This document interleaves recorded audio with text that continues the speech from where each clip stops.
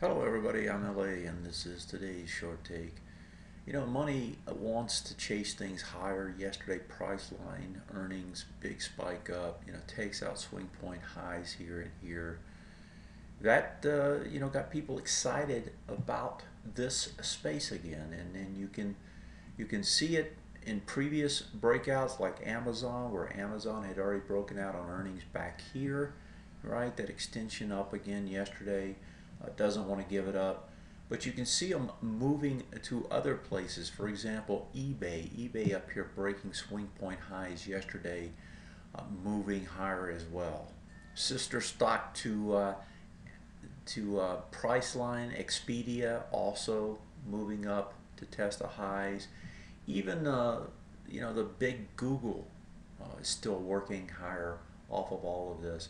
And if we go even down the line a little bit farther, uh, Twitter, nice big spike up on it. And uh, even Alibaba, who really got hit, uh, you know, this one can't seem to get going. I wouldn't be surprised to see some money rotate into this uh, before too much longer. So across the board, you know, money wants to move to hot ideas, hot sectors. Alibaba struggling, but you look across the board at almost everything else and is moving higher in the internet space. That is today's short take.